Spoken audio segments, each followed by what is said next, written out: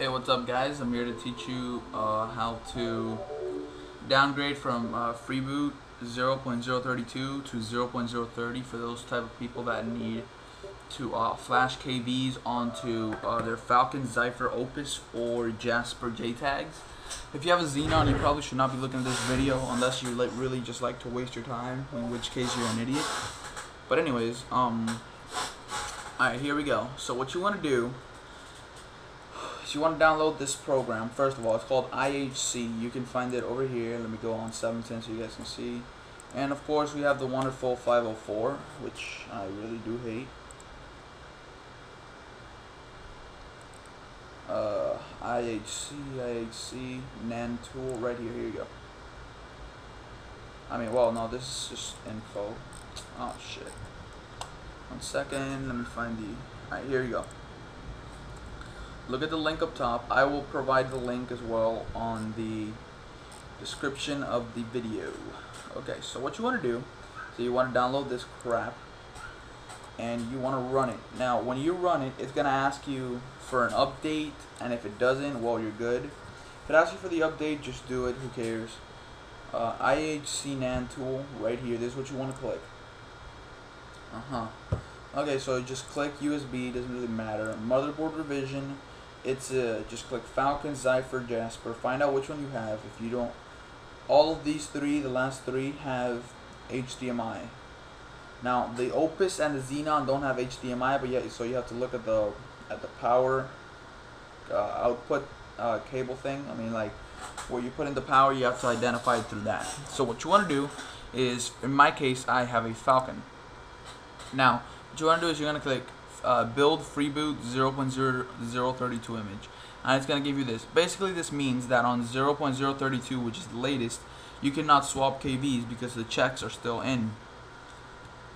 If you try to swap KVs you will get Christmas lights which is really annoying to they're easy to fix but it's just annoying getting them.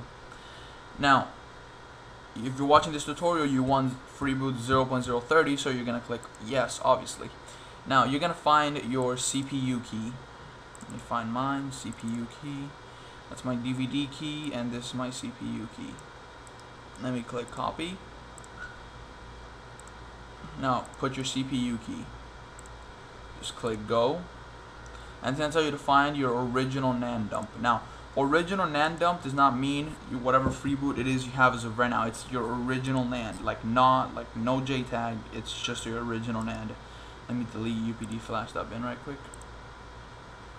Alright, click original NAND.bin. Wait till it does this crap. Blah blah. Blah blah. Press any key. Yes. Now it's gonna bring this save and select save location for freeboot image. Just click desktop, it's the easiest one. Now, uh, save as freeboot. Okay, you're good. Just click no right here and just exit this crap freeboot. Now this part is vital. Uh, rename it to upd flash.bin. upd flash. All right, right there. You're good. Now bring up. Uh, you, I'm gonna FTP it over to my JTAG. So just give me a second.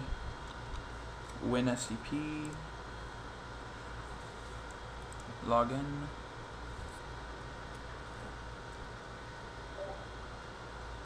Oh, I haven't gotten on XEX menu. Just give me a second.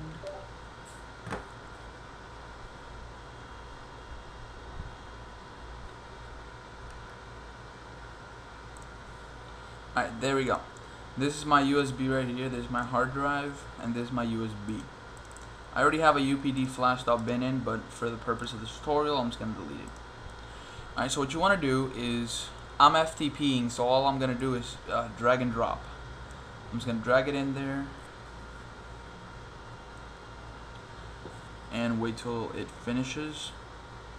Alright, now it's just a matter of time waiting till it shows up on my USB on my Xbox. Alright, so if you do if you do not FTP, then what you want to do is you want to uh, drag it over to your USB and launch up XEX menu. So from here on, I'm just going to use my HD PVR to show you guys how to do shit. Alright, Awesome, here we go. Blah, blah, blah, blah, blah. Alright, you see UPD flash.bin right there. This is the one I just put in. Alright, you're gonna click on flash360.xex. Alright, so you see where it says A, click A, B, press start, A, and wait till it finishes writing.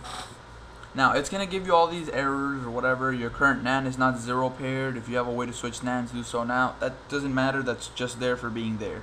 Don't pay any attention to that. Now, press any button to continue. Now, press back to return to main menu and back to shutdown. When it shuts down, leave it, uh, unplug all your crap for about 30 seconds or whatever. Or if you want to be a risk taker, just don't do anything and just leave it in. Now, you will know if it worked if when you sign back on, uh, you get prompted with the login screen. I will show you how.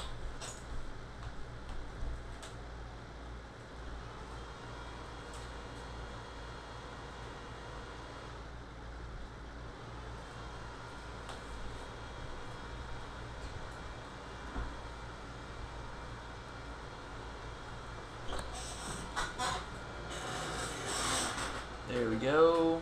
know, one second so that you can see.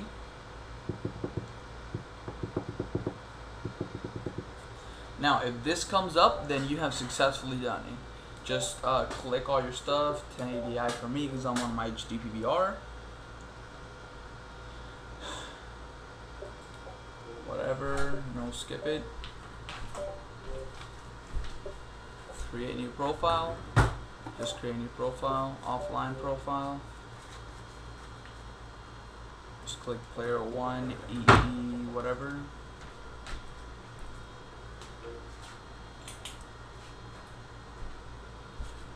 Now wait till it brings you to the avatar crap. Just select any random avatar.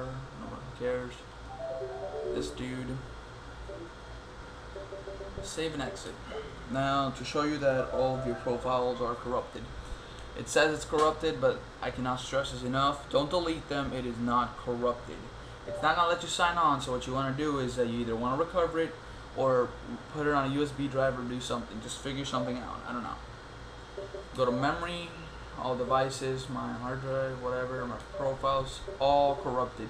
Now, if they're all corrupted, then that means that you did it right, that you're good, and congrats, you are now a hacker or whatever the fuck you want to call yourself.